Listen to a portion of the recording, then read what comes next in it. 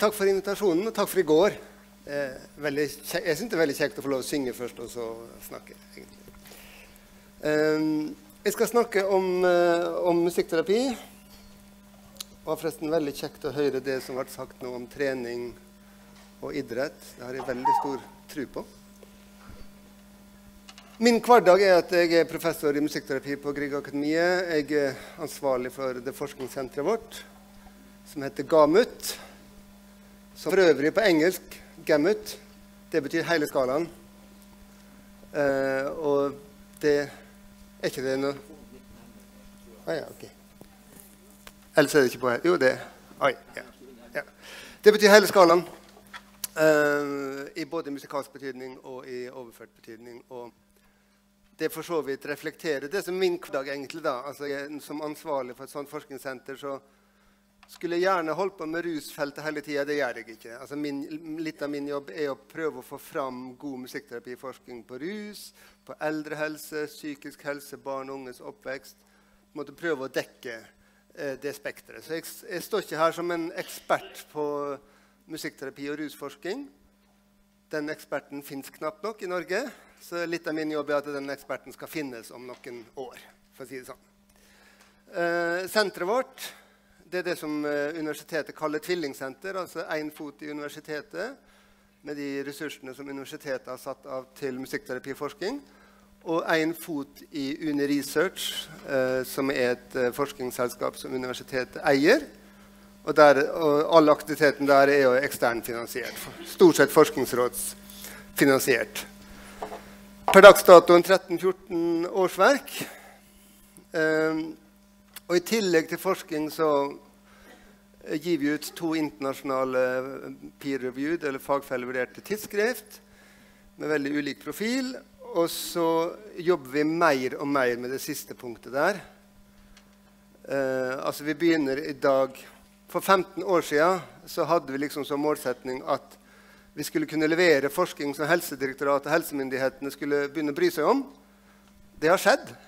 Eh, musikkterapi har kommet inn i flere nasjonale faglige retningslinjer. Det er ikke det samme som at praksisfeltet forandrer seg neste dag. Eh, slik at det å jobbe systematisk med implementering og gjøre musikkterapi tilgjengelig for brukere, det bruker vi mer og mer tid på. Eh, og der, Derav bl.a. den kunnskapsklynga Polyfon som når det gjelder på rusfeltet, så er jo både Fjell kommune, Bergen kommune, Bergensklinikkene, Helse Bergen med i polifonsamarbeidet. Her har dere noen av mine kollegaer. Ehm, det har vært en rask akademisering av musikkterapifeltet. Det betyr at eh, polsk kanskje står sterkere enn nynorsk som eh, forskningsspråk på Gamut. Tysk er desidert det største språket, engelsk nest største. Uh, men uh, som sagt, rus er det en av de tingene som vi jobber med. Og jeg syns det er veldig spennende å jobbe opp mot rusfeltet, for det er, det er et felt i bevegelse. Det er dynamikk der som gjør at jeg syns det er veldig artig å samarbeide med det feltet. Uh, jeg skal presentasjonen min blir delt egentlig da, i sånn fem, fem, deler. Først bare litt. Jeg unnskylder dere hvis dere syns dere har et vagt bilde av hva musikkterapi er, for det er et ferskt fag, ungt fag, ungt universitetsfag. Så jeg skal liksom prøve å si litt om det. Um, inklusivt et slags Altså en mulig måte å tenke på når det gjelder fagligheten der. Så skal jeg si litt om retningslinjene eh, som sier noe om musikkterapi av relevans for rusfeltet. Så skal jeg si litt om praksiserfaringer. Og så skal jeg summere opp både da med tanke på en forståelse av musikk som en recovery-orientert, aktivitet- og ressursorientert, kunnskapsbasert praksis i TSB og i kommunene og med vekt på noe av det som også er tema for konferansen. altså Aktivitet og arbeid utafor en behandlingssituasjon. Altså, på hva slags måte kan du ta musikken ut av terapirommet?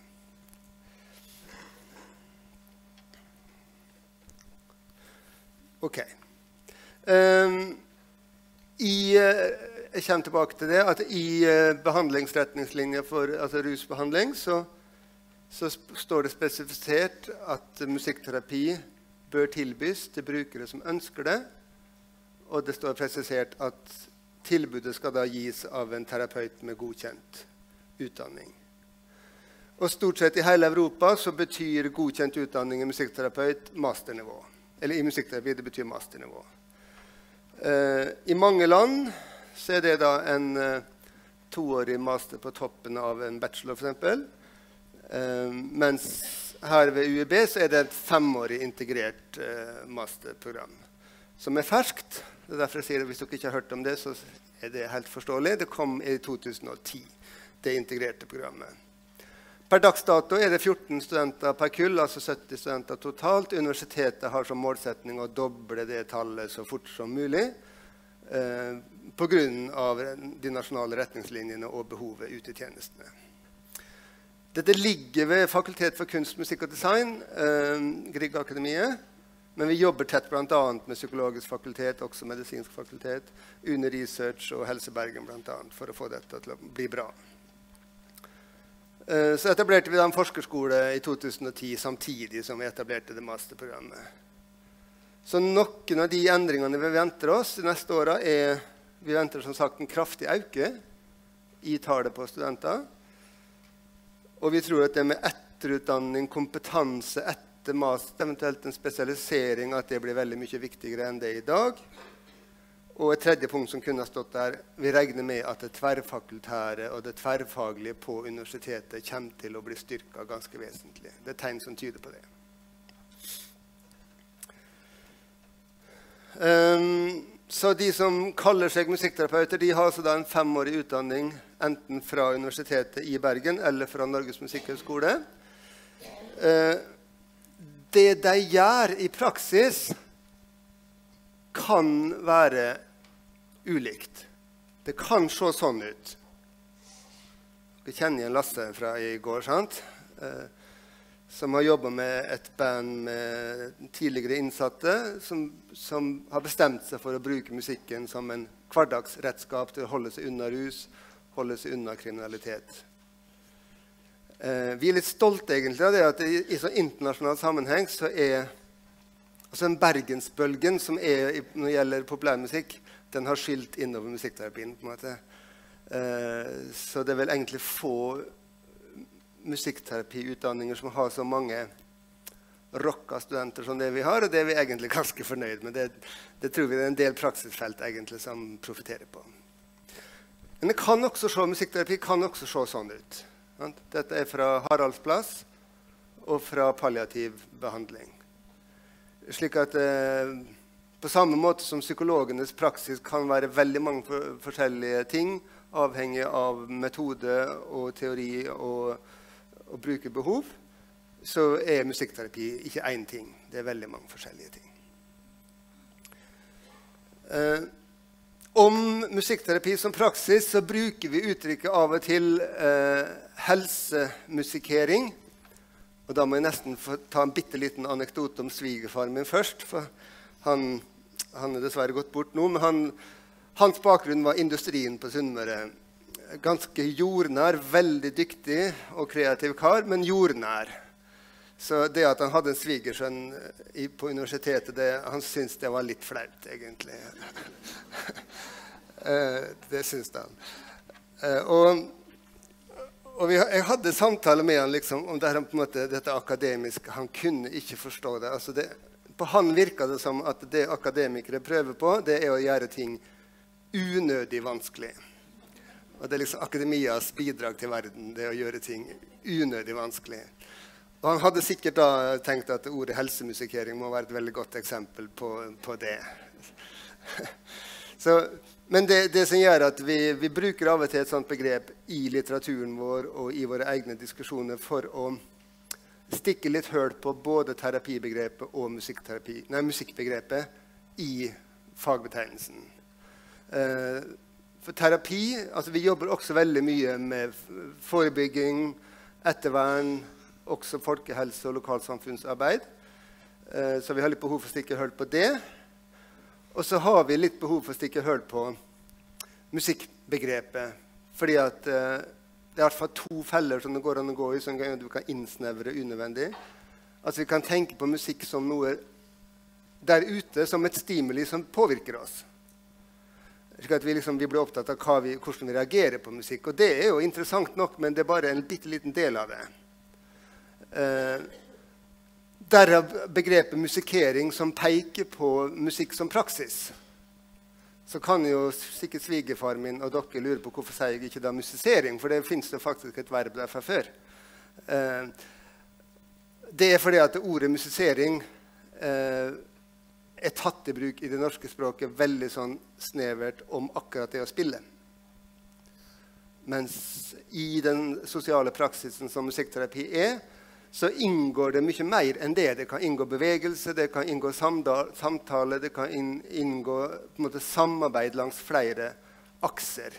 Og på engelsk fagspråk så kalles det veldig ofte for musicking. Eh, som vi da har oversatt til musikering på norsk. Så jeg vet ikke om jeg egentlig tror musikering kommer til å bli et norsk hverdagsord. Det er ikke jeg sikker på. Det er kanskje litt sånn som Schönberg, som trodde at folk kom til å gå og sånn plystre atonale melodier. Sant? Det trodde han for 100 år siden. Det har jo aldri skjedd. Så det er jo ikke sikkert at, uh, at musikering blir en slager. Men vi bruker det når vi underviser studentene våre for å stikke litt høl på en sånn tradisjonell og litt innsnevrende måte å tenke musikk på. Uh, og det betyr at musikkterapi øverst der oppe da, da Hvis vi tenker på det da som en sosial praksis uh, Og for å forstå den praksisen så mener vi Du kan godt oversette det, det som er nå, de tre andre firkantene biopsykososialt, for så vidt. Uh, men det er liksom legenes språk, og det er ikke sikkert det treffer helt det musikkterapeuten holder på med. Eh, men det er en dimensjon der som er biologisk. Eh, spedbarnsforskere har siden slutten av 70-tallet vist at eh, folk har faktisk en medfødt musikalitet. Når jeg studerte musikkterapi i, på tidlig på 80-tallet, så, så, lærte jeg det også på studiet at alle er musikalske. Men skal jeg være ærlig, så tror jeg det den gang var vel så mye Arbeiderpartiets kulturpolitikk som det egentlig var måte, forskningsbasert eh, kunnskap. Eh, men i dag er det mer og mer forskning som på en måte viser det, at spedbarn er født med en kommunikasjonskompetanse eh, med lyd, rytme og bevegelse som ganske mange forskere bruker musikalske metaforer når de beskriver det. Men så er det også en sosial dimensjon der vi, vi tar i bruk den medfødte kompetansen i sosiale kontekster, og vi har en historie i forhold til musikk, og det er veldig viktig å huske, som er individuell. Slik at Hvis dere har hørt om Mozart-effekten, så er ikke det forskning som kommer fra musikkterapien. Den neglisjerer fullstendig at noen mennesker kan elske Mozart, og noen kan hate Mozart. Og skal du på en måte jobbe seriøst med musikk i en helsefaglig kontekst så må du ta inn sånne ting. Så altså, vi er født med en medfødt kommunikativ musikalitet. Dette bildet er for så vidt bare unnskyldning til å vise fram det yngste barnebarnet mitt, men, eh, men rent som bortsett fra det er ikke så søt. bortsett fra det så er altså greia når hun våkner opp sant? Nå ligger hun her og sover. Men når hun våkner opp, så har hun et kommunikasjonsbehov. Hun har et behov for emosjonell tilknytning. Hun har et behov for at vi er sammen med henne. Og hva har vi til disposisjon? Jo, lyd, rytme, bevegelse. Musikalske elementer. Og, så det, det, på en måte gir en sånn kunnskapsbakgrunn for det å tenke at musikkterapi ikke bare er for akkurat de som har lært seg å spille gitar. De må også veldig gjerne komme med musikkterapi. Og det, det, er det, dere, det, er det dere ofte ser. Sant? For det er de som spiller i band, og så blir de synlige i ulike sammenhenger. Men musikkterapi kan godt være for en bruker som aldri har tatt i en gitar, og som aldri har enten fått lov eller hatt lyst eller turt å spille før. Hvis vedkommende har en motivasjon for å bruke musikkterapi, så starter vi der. Og allerede den medfødte musikaliteten gir masse å bygge på. gjennom improvisasjon og kan bruke enkle instrumenter. Og samtidig er jo alle av oss når det kommer til stykket, vi er jo egentlig da også, vi har lært mye musikk bare sånn ved å se på TV og høre på radio. og, og sånne ting. Sånn at vi er forma av, av en tradisjon. Sant? Vokser opp på ei bygd der det er hornmusikk, sant? så så uh, Enten så elsker du da hornmusikk, eller så hater du hornmusikk. og Enten så er du en del av et fellesskap, eller så er du veldig ekskludert av det fellesskapet. Uh, og så har vi med oss personlige erfaringer i forhold til musikk. Og det er klart, da er det Jeg elsker Mozart, jeg hater Mozart. Det er en variant. Men musikk har vært en helsefremmende ressurs i mitt liv. Eller musikk har vært en del av mitt rusmisbruk. De, de forskjellene er der også. sant? Ehm, det fins etter hvert en del eh, artikler internasjonalt på at eh, for noen rusbehandlingsinstitusjoner har jo sensurert musikkbruk av den grunn. Ehm, det fins mer og mer erfaring som tyder på at det er ikke sikkert det er det lureste, fordi eh, da kanskje undervurderer en at musikk også er knytta til personlig identitet. Så ja, den musikken har vært en del av mitt rusmisbruk, men det er også en del av min personlige identitet. Så hvis den den, jeg ikke får lov til å bruke den de månedene jeg er til behandling, så kommer jeg kanskje tilbake til den musikken likevel fordi det er en del av min identitet. Så det er kanskje vel så tjenlig å ta den musikken inn i behandlinga og jobbe med relasjonen til den musikken. Ok, Litt om retningslinjer og føringer. Uh, et utgangspunkt her som er referert til i rusretningslinja, det er Nasjonal faglig retningslinje for uh, psykosebehandling som kom i 2013. Som gir en klar anbefaling av musikkterapi med gradering A og evidensnivå 1A. Um, eh, så det bygger da på et Cochrane Review fra 2011, som er oppdatert nå i 2017. Veldig klar, eh, klare signaler. At musikkterapi fremmer tilfrisking. Det står ikke spesifisert her, men hvis du skal tolke det ut fra resten av språkbruken i den retningslinja, så tolker jeg det som at de tenker både klinisk tilfrisking og personlig recovery. Eh, det, det, er dokumentasjon på at musikkterapi reduserer negative symptomer ved psykose. Men det er også veldig mye forskning som det blir vist til om at musikkterapi kan fremme brukermedvirkning og samfunnsdeltakelse. Så det blir vist til begge deler. Og behandlinga bør startes så tidlig som mulig. Uh, og det blir understreket at det er relevant i spesialisthelsetjenestene i kommunene, i døgnbehandling og i poliklinikk, og at behandlinga må utføres av musikkterapeut med godkjent utdanning. Uh, dette er jo styrka av føringene i legemiddelfri behandling. Uh, gjort veldig Det er sannsynligvis legemiddelfri behandling som har gjort at Helse Bergen for eksempel, har både vedtatt og realisert at alle DPS-er har fått tilsatt musikkterapeut. Uh, og vi, vet at pakkeforløpet for psykisk helse Altså for psykose, unnskyld, som kommer at det, høringsversjonen der inneholder en klar beskrivelse og inkludering av musikkterapi. Eh, så både forskninga på musikkterapi og psykose og psykisk helse ligger en del år foran rusfeltet og føringene i, i retningslinjer. Det som står i retningslinja for rusbehandling, at det foreslås å tilrettelegge for bruk av musikkterapi for pasienter som ønsker dette. Eh, rent formelt så er jo det en svakere formulering sant, enn i psykoseretningslinja. Samtidig tenker jeg at i og med at recovery og brukermedvirkning og brukerstyring er så sterke verdier i den retningslinja, så er dette reelt sett ikke en så veldig svak anbefaling. på en måte. Eh, jeg er ikke overraska hvis utviklinga i rusfeltet kanskje går like raskt som utviklinga i psykisk helsevern. Vi kan jo lage en konkurranse på det. Um, så litt noen praksiseksempler. Altså, jeg, har ikke, jeg har som sagt ikke sjøl verken forska mye på musikkterapi og rus. Eh, min egen kliniske erfaring er også da fra psykisk helsevern, fra DPS, og ikke fra, fra rusbehandlingsinstitusjoner. Klart, I psykisk helsevern så klart det var en god del rusproblematikk, men altså, jeg, har ikke, jeg, har ikke, egen klinisk erfaring fra TSB, det har jeg ikke, eller fra kommunale rustjenester.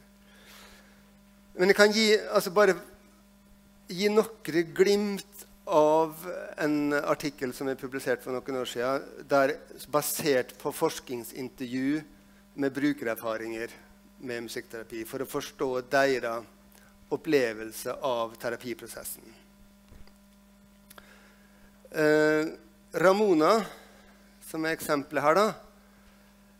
En pasient som var eh, suicidal og deprimert og i en veldig, veldig alvorlig krise. Likevel altså Ofte så, når jeg jobba ved NDPS-en etter noen år siden, så kom pasientene fordi at psykologen eller psykiateren tilviste til musikkterapi. Sånn var det den gangen mest. Men hun var en av de som på en måte rekrutterte seg sjøl. Klinikken hadde gjort liksom, eh, litt dårlig arbeid med å lydisolere musikkrommet. Du hørte ikke samtalene, selvsagt, men du, hvis du spilte bra på tromme og, og elgitar, så hørte du det utafor musikkterapirommet. Altså. Dette hadde hun hørt, og det hadde motivert henne. Så ei dame som ellers på en måte strevde med å motivere seg for eh, nesten det meste, dette hadde hun lyst til å prøve. Og jeg husker jeg ble veldig overraska i første, det som jeg vanligvis gjorde, at vi hadde fire, en sånn prøveforløp på fire timer, og så avgjorde vi sammen om det var tjenlig å arbeide videre. Allerede i første time så ville hun spille på en sånn djembe, en sånn afrikansk tromme. Det hadde hun aldri sett før, så det ville hun prøve. Så setter hun i gang å spille en dame som på en måte snakker så lavt at hun nesten ikke hører hva hun sier, og som på en måte hele kroppen er er tung. Spiller med en kraft og rytme som Jeg kvapp nesten der jeg satt, satt ved pianoet. Så hun fant fram til en, en ressurs i seg sjøl som var veldig vanskelig å se i samtalen. Samtidig, etter nøyaktig 24 sekunder, så stopper hun seg sjøl, og så spør hun om hun spiller rett. Uh, og Det viste seg å være et av de store temaene på en måte, i hennes musikkterapiprosess. Vi, etter fire timer valgte vi å jobbe videre. Men altså det med myndiggjøring, altså det med å på en måte kjenne at det kan ta kontroll over eget liv, og ikke på en måte hele tida måtte gjøre det som en tror er rett ut fra det andre bestemmer, ble et viktig tema. Så veldig fort så ble altså det som var en ren musikalsk motivasjon i utgangspunktet, ble for henne også da en mulighet til å jobbe med noen livstema som var vanskelig for henne, som var om å stole på andre, være i relasjon, samspille med andre og ta, ta myndighet over eget liv. Eh, så hennes refleksjoner etter eh, musikkterapien var å sammenligne musikkterapi veldig med verbal psykoterapi det hadde for henne litt av den samme verdien, men det hadde en supplerende verdi fordi hun fikk være aktiv. Hun fikk prøve ut. Det fikk hun ikke i samtaleterapien. Så skal vi være klar over at det er én bruker.